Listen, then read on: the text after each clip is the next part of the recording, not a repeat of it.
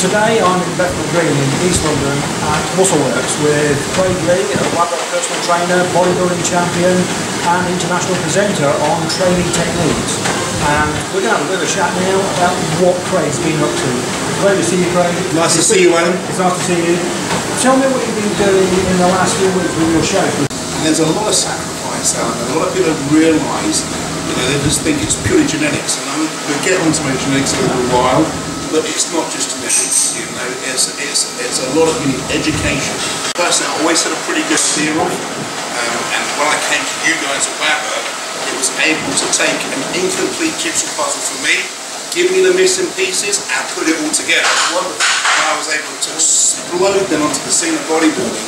And interestingly enough, after I finished my WABBA course, I never finished outside the top three in competition just want to throw it out there as well. I was able to take the knowledge, and like I said, there was a few little black spots and gaps that I, that I didn't have.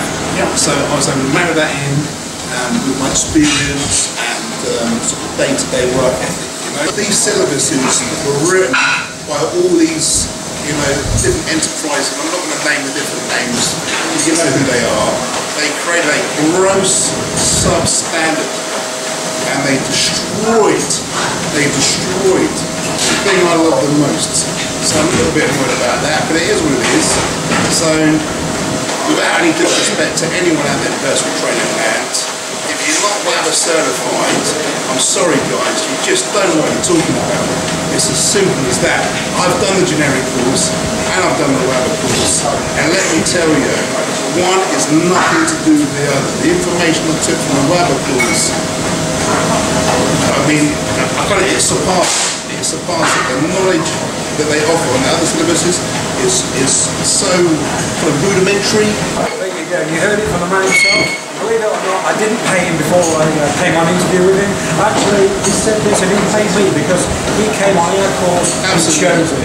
You enjoyed the video? Big thumbs up to Anna Ranikers and all the guys at WABBA qualifications. And if you want to learn your stuff and get a body like mine, give them a call.